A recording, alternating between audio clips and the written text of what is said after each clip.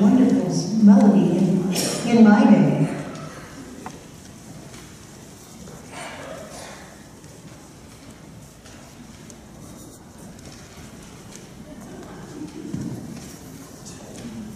So inspiring, Dr. Joe.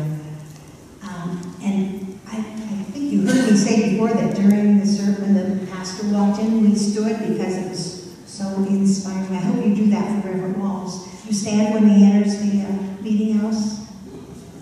Good. My pleasure this morning is to introduce you to a young man who was an American Revolution hero. But I knew him when he was a small baby, and I remember him being baptized in our church. But the Lord was good to him, and he survived the American Revolution with a few scars, I must say, but he'll tell you a little bit about that now. Let me introduce to you Ebenezer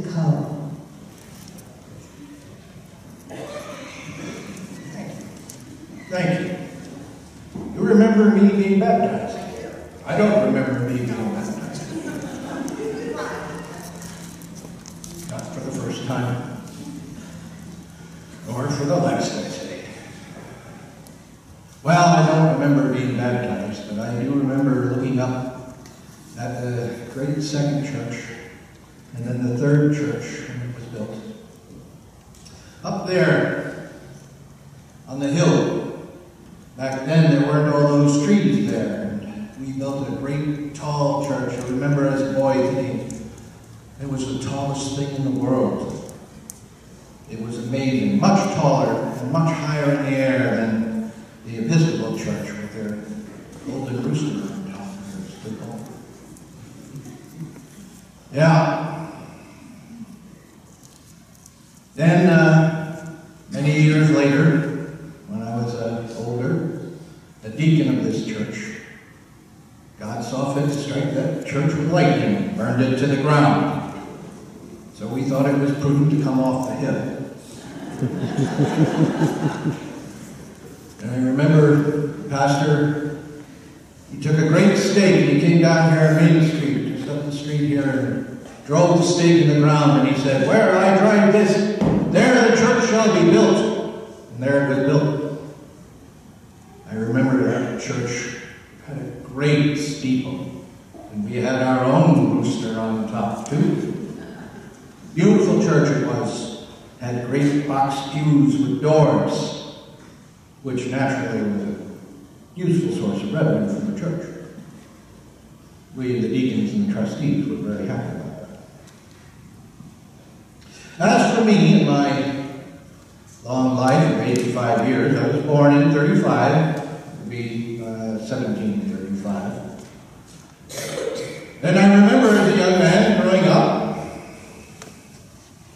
admiring so many things in this town. We had that great church up on the hill, the church could be seen for miles around because there were no trees, there was nothing else. And you could see that tree out to sea, out on the sound for quite a ways. Mariners used to use it as a waypoint to be able to get between Bridgeport and New Haven.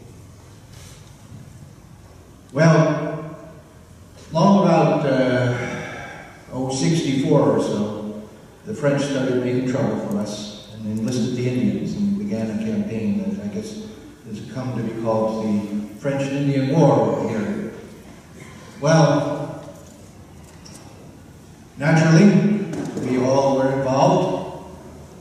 At the time, His Majesty sent his soldiers to us to help us and to protect us. That was the theory.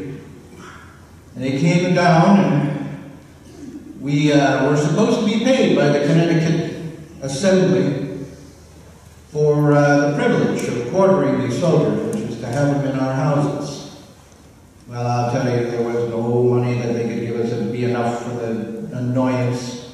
There was no recompense that would be sufficient for the for us having to house these ruffians, these soldiers. They came into our community and accosted our women. They took our food and our wood, and we had to give them water. They even took Pastor Wetmore's house, kicked him out in the street. He had to stay with other members of our community while they were here. And for the privilege, we had to pay 470 pounds and more. Well, it was a great annoyance, I can tell you. But the French were a greater annoyance, and we were very concerned about them. And so a number of us and our men, we joined militia and went and up with the British to Quebec to Montreal. And there we helped to rout the French and drove them from the Americas. Well, when that happened, we had no more foreign enemies to fight, and we thought we'd come back to a peaceful, peaceful town. No. You see, fighting long foreign wars is very expensive, and the English were determined to make up some of that expense, and they made it up on our backs. It wasn't long before we, in addition to having to keep these soldiers, and we did have to keep these soldiers for a considerable time, we had tax after tax after tax. We had the Stamp Act, the Navigation Act, the Molasses Act, act after act all without our representation, without our say. Well, a number of us weren't having that anymore. When, in April 1775, we heard about the news from Lexington and Concord of the terrible uh, actions of the British and the uh, wonderful heroes driving them back to Boston, this town went on fire. And a number of us immediately enlisted with the militia and went and went to Fort Ticonderoga uh, up in upstate New York, where we helped to drive the British out of that fort. And when he came back, when we came back, this town was riven. It was torn asunder because we had some people who were on one side of the debate, if you could call it a debate and they were loyalists. They were Tories, we call them. Generally, they were wealthy landowners who didn't want to see change. And then, on the other side, you had us, the Patriots, the Whigs. Now, I think we came out better in the end. Well, I remember clearly uh, George Washington with the Continental Army bringing coming through and taking the ferry right here across the Housatonic. I remember that quite clearly. Alice, you remember that. So, it wasn't too long after that that uh, General Washington went to Boston and he laid siege to the British. The British the siege and left Boston and decided to drive from New York. Well, we weren't having any of that. And I went to go and I, with my brothers and my friends, and we went to go fight in the Battle of Long Island, where I was captured and put in one of the great prison ships. And I caught a terrible fever. Sick as I was, though, I managed to take my chance and I escaped to Harlem Heights. There I lay a while. And eventually, I came back to town where I recovered my strength. 1777, uh, the British, under, I believe it was Major General William Tryon, landed in Westport, Norwalk, and they marched up to Danbury. And they headed up to Danbury to take uh, control of the Continental Army stores that were stored up there. And so all of Connecticut decided we were going to stop them. And we all gathered under our own general, own General David Wooster, right here from Stratford. He was in command of the whole Army of Connecticut. And he came down, and we all went and chased the British up, but we were a little slow, and we couldn't protect the stores in Danbury, and the British sacked and burned. But on their way back, we made them pay for the privilege, I can tell you. We caught up with them, they caught up with us at Ridgefield, where we fought a great battle and chased them to the sea. Unfortunately, David Wooster fell, and so did I. For I was hit with a musket ball, right here in my right eye. And it passed through and carried away a piece of my ear. And I lay as one dead. I thought I had gone to meet my maker.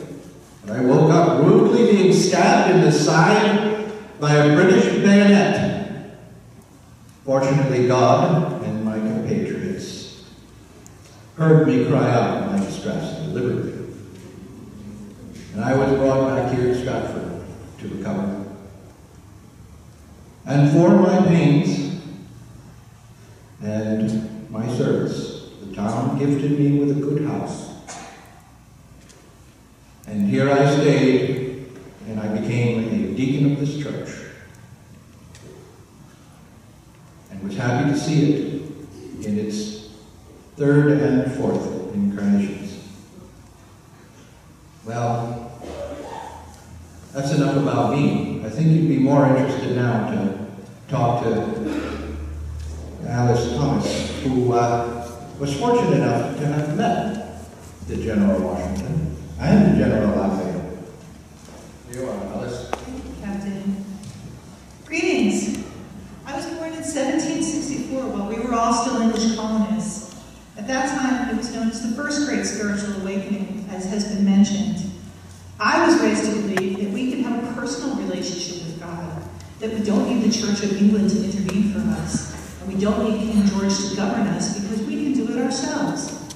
These were terribly, terribly new ideas. Our Puritan ancestors, unlike the sermons that we had in those days, we were told not just to intellectually agree with our pastors, but to take action, to awake, to make real the world of God that we wanted to see come forth. To bring about positive change in the world, such as freedom of religion, freedom of the press, freedom of speech. In this way, the Great Awakening brought a desire for freedom that made the American Revolution possible. In 1780, when I was just 16, all of these solidified into my life's purpose when I had the great good fortune to meet not only General Washington, but also the Marquis of Lafayette when they dined at my father's tavern, Benjamin's Tavern, over here on Broad Street. I remember that day because not only were we meeting great men, but we had the special treat of having potatoes. very rare and very special, so it was a way to honor our great heroes. Stratford was growing rapidly at that time. Many of our neighboring towns are now formed on land that once belonged to Stratford, including Bridgeport, Shelton, Trumbull, Monroe, and a little bit of Fairfield. I remember um, small mills producing textiles, shoes, and metal goods. Eventually, we would even see a, a train coming into town that was built on land that is now at the rear of our church. You've already heard about the American Revolution from Captain Coe, but in 1812 we went to war again with the British for two and a half years for several reasons, including severe trade restrictions due to the British war with France, the fact that the British were constricting our soldiers at gunpoint to serve in the Royal Navy, and there was also talk of Canada annexing part of British territory I'm sorry, America annexing part of British territory in Canada, but eventually our boundaries did remain the same. By 1840, the Second Great Awakening was a national movement, but it really centered here in New England and upstate New York. Um, we called this area the burned over towns, where hellfire and damnation speeches were very popular. Many new and overlapping ideas came from this, particularly temperance, abolition, and women's rights. Many of our church women had joined the Women's Temperance Christian Organization with the goal of promoting abstinence from alcohol.